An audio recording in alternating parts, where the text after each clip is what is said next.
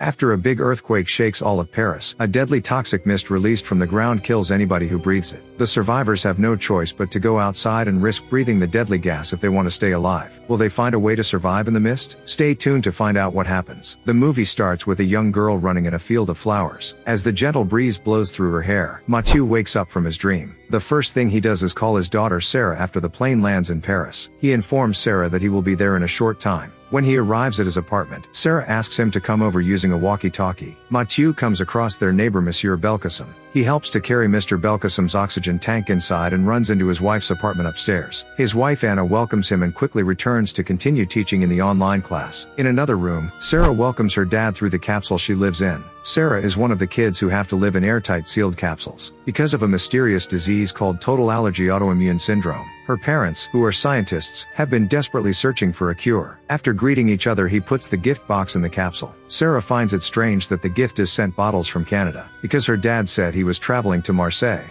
Mathieu tells her to check under the bottles. She finds an SD card for virtual reality goggles that shows the Rocky Mountains and wonderful nature. When Anna's online class is finished, Mathieu brings her the good news. He explains that he didn't go to Marseille for an interview. He went to Canada because a treatment for Sarah's disease had been discovered. He thinks they should move to Canada as they can take Sarah in for treatment. But Anna doesn't want to complicate things and she doesn't trust this method since it's new and unpublished. She argues that Sarah just started living after all these years of staying in the hospital. Mathieu expresses his anger because he thinks it cannot be called living. While they argue, Sarah chats with her friends Charlotte and Noé who also live in a capsule. Noé calls their group goldfish in a tank, but Sarah doesn't like that expression. She tells him to never say it again but she smiles when he explains that they are in fact like goldfish in a tank. Mathieu tells Anna to pack her bags immediately. He is determined to get Sarah out of the capsule, because he doesn't want their daughter to think they are giving up on her. But Anna asks him to wait and see the results. Mathieu storms out and goes back to his apartment. While Mathieu is in the shower, he hears the breaking news on the TV. The reporter says that a big earthquake has shaken Denmark and Sweden like never before. And shortly after that, an earthquake starts shaking Paris too. Mathieu runs out of his apartment to see what's happening. He sees that people and birds are escaping from something.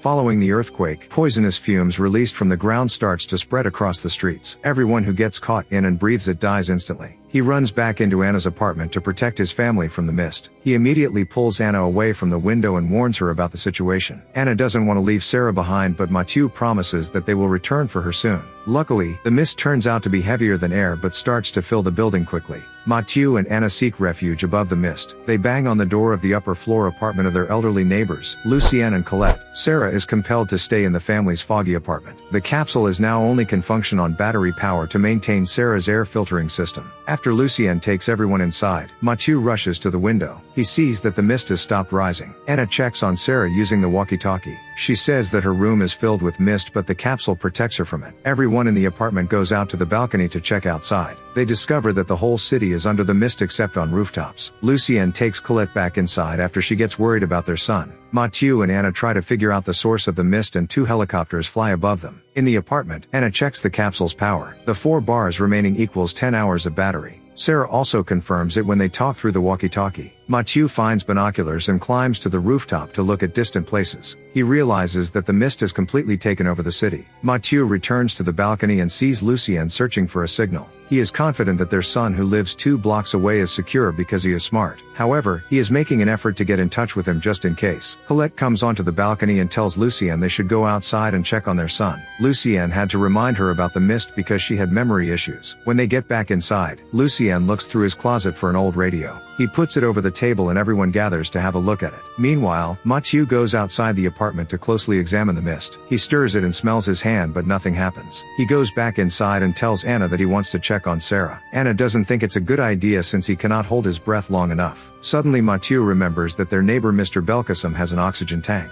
He packs a flashlight, hammer, and tape and climbs down using the pipes. He takes a deep breath and breaks into the apartment. While searching the house with the flashlight, he finds Mr. Belkacem's dead body. Luckily he finds the oxygen mask just before he runs out of breath. As he is getting ready to leave with the oxygen tank, he hears sounds coming from another room. When he opens the door, he discovers that the mist has killed the neighbor's elder dog. But the little puppy is still alive and it walks out of the room like the mist doesn't exist. He visits Sarah first and brings her supplies. He changes the batteries of the capsule and tells Sarah Sarah that she has to make herself scarce. He promises to come back soon and he goes outside to venture into the streets. The roads are dark and full of dead bodies because of the mist. Just when he is taking batteries from abandoned cars, he hears a whistle. He runs into the source and finds people evacuating the city with the help of some soldiers. The soldier that leads civilians to safety tries to get Mathieu in the line. He tells him that they are headed to Montmartre which is located on a hill unaffected by the mist. He equips Mathieu with a better oxygen mask with pure oxygen. Mathieu asks him about the mist. He says they don't know the source but it's coming from underground. Then he tries to get Mathieu in line again but he refuses to leave his family. The soldier informs him that they won't be able to come back to the city. Just before he leaves, Mathieu asks for an extra mask and they part ways after he takes the mask. In the apartment, Sarah and Anna communicate using walkie-talkies. Just when Anna is guiding her for exercises, Mathieu enters the apartment with new equipment. He tells everyone about what he saw on the streets. He asks Anna if she wants to visit Sarah using masks, but she refuses to save the oxygen in case of an emergency. Later that evening, they have a chat around the table as Anna tries to fix the radio. They ask about Sarah's condition and remind Anna about the day they entered the apartment carrying the capsule. While the others chat, Mathieu goes outside to check the hallway. He notices something strange and marks the current level of the mist. After going inside, he warns Anna about the increasing amount of mist. They realize that the current situation will only worsen from now on. Mathieu dozes off later but Anna is unable to close her eyes. She visits Sarah while she is asleep. She replaces the battery before leaving. Mathieu sees the same dream of a girl running in the field of flowers again. When he wakes up he sees that Anna finally fixed the radio. Yet there is nothing but the emergency calling on every channel. All of a sudden a huge explosion sound comes from the outside. Mathieu and Anna climb to the rooftop to see what is happening. They see rising flames and riots breaking out among the Montmartre survivors. They make a plan to flee to Sarah's friend Charlotte's house in the hills. Sarah and Charlotte have the same syndrome so they can share the capsule. They go to a lab located in the middle of Paris to get a sealed suit for transporting Sarah. They visit Sarah before they leave and tell her about the plan. Sarah asks them to find Noé but they are hesitant to waste their oxygen. Sarah reminds them his parents would do the same. So they go out in the streets and stop when they reach Noé's apartment. Just before they can enter, a dog comes out of nowhere. It starts to chase them and they split up accidentally while running away from the dog. Mathieu gets distracted and falls into the Seine River. Anna tries to hide in a bus but the dog continues to follow her. The dog's leash gets tangled with a suitcase and Anna exits the bus quickly. She searches for Mathieu in the river but Mathieu already found his way using the stairs. He notices a hazmat suit while removing the jacket from a dead body. He quickly replaces his wet clothes with dry ones and runs to Anna. They reunite in front of the lab. They ignore the bursting flames in one of the rooms and continue to search. They find the equipment they need in a suitcase. Carelessly they walk near the flames again and it finally explodes in their faces. The explosion throws them far away. They make it out alive, but Mathieu catches flames. Anna finds the extinguisher and puts the fire out. Anna realizes that Mathieu's oxygen tube gets irreparably damaged by the explosion. They reach the top of the building by sharing Anna's oxygen. Anna treats Mathieu's wounds. They realize her oxygen level gets too low for them both to use it. Mathieu tells he can move forward by climbing roofs to avoid mist. He tells Anna that she should return on her own using the mask. They kiss each other passionately before parting ways. Anna runs back home with a suitcase while Mathieu walks carefully through the rooftops. Anna Anna barely makes it out of the top floor apartment before her oxygen runs out. When she opens the suitcase she sees that the equipment was severely damaged by the explosion. Mathieu discovers a rope in the meanwhile, and it takes him to the rooftop of a parking garage. He notices bags of supplies, and a trail of blood draws his attention.